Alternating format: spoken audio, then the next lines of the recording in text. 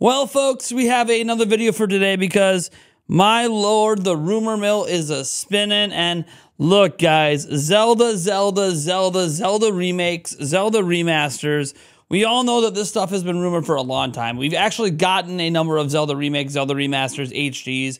Wind Waker HD, Twilight Princess HD, Ocarina of Time 3D, Majora's Mask 3D, Link's Awakening on Switch, Skyward Sword HD, blah, blah, blah, blah, blah, right? This is just something that happens. We've had Link's Awakening DX even back in the day on Game Boy Color. So, yeah, these remakes and remasters are something that Zelda has been doing for a long time. And today we have a, another rumor adding to the mix. And, uh, well, let's just say the hero of time might be back. Before we get into this, I want to remind you that we are on our road to 150,000 subscribers. I would love it if you would subscribe to the channel, drop a like, and go ahead and smash that bell icon to be notified of all future videos and uploads, including a live stream that we'll be doing later tonight. All right, folks.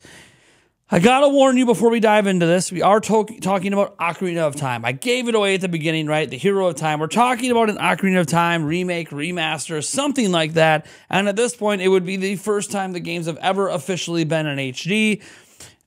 Uh, why are we talking about it? Well, the source for this rumor is a little questionable. We need to give some context before we dive in. For starters, obviously Jeff Grubb said earlier this year that he heard there's a Zelda something that isn't related to the Tears of the Kingdom to be announced before the end of the year. Then you add on the Serkan Toto thing the other day where he is an industry analyst who did this little ZR 2023 thing, which people take as a Zelda remake, Zelda remaster, because he did a very similar thing with ZR2 2022 back in 2021. And then he mysteriously deleted the tweets and has basically ignored all questions about them since. I don't really know what's going on with that, but it's gotten us to talk about Zelda remakes and remasters again. And look, we know Grezzo is probably working on something. We know there's old rumors of like the Oracle games back in the day.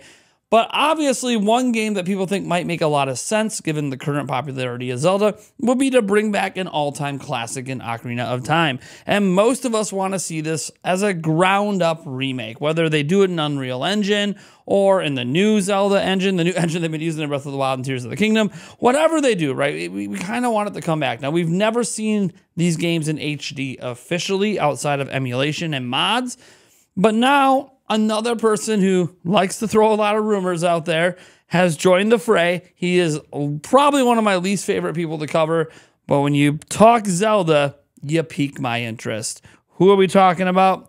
Zippo. So, as you see over on Zippo's blog here, he said he will return. This was just posted today. And he said the hero of time will return in the very near future. That's it. That's the post. And let me just say something. Nothing else need be said to get my hype up. I uh, I look, I'm not going to pretend that Zippo is the best possible source on the internet. He got some stuff right with Mario Wonder, but we can probably write a novel on the things he's gotten wrong. So people act like he's a broken clock, but I don't know Zippo. And the fact that he had some pretty spot on things with like exact days of Mario Wonder makes you kind of curious if maybe he has a contact and the contact sometimes feeds them false information to throw the scent off of real rumors out there. I don't really know. I'm not here to speculate on that. I'm here to talk about Ocarina of Time coming to either Nintendo Switch or Nintendo Switch 2. Now, I noted that just because we got Tears of the Kingdom, and I, have been saying this consistently for a while, people always thought you could only really get like a one Zelda thing per year. But if you look at what Nintendo's doing with Mario, Zelda games are now sort of at that Mario level, right? We're getting 18, 20 million, 30 million in sales with every brand new entry, at least the big name ones. So that means that Zelda is ripe to start having more releases come out more often with this remakes, remasters, and spin offs. And while we could get a Hyrule Warriors or another Cadence of Hyrule type thing, you know, another indie game crossover potentially, or maybe they bring back a Link's crossbow training or something like that. It's interesting that Ocarina of Time is brought up. I don't know that I trust or could ever believe that Nintendo is truly going to remake Ocarina of Time. But if ever there was a game that was worth them putting the effort into doing it, it would be this game. It is the, well, now fourth highest best selling game of all time, but it's also a, a historical game. And here's the thing Aonuma, in a recent interview, put out a little nugget. And this little nugget just adds more fuel to the fire because this comes directly from the guy who's in charge of the entire Zelda series. If an Ocarina of Time remake is happening or a HD remaster, he would be the one making the call to make it happen. It would be his decision. He said this in a recent interview about a certain character in Tears of the Kingdom called Rauru. He essentially said, I don't think people know who the original Rauru was anymore. Yeah, that's kind of curious. We literally got Ocarina of Time 3D in 2011, a little over a decade ago, and he's saying that people playing Zelda today, he doesn't think they know who Rauru is from Ocarina of Time. That means that to him, Ocarina of Time is so old that people don't know who this guy is anymore. And if you have Rauru from Ocarina of Time, obviously we have the connection with the Rauru name in, you know, Tears of the Kingdom.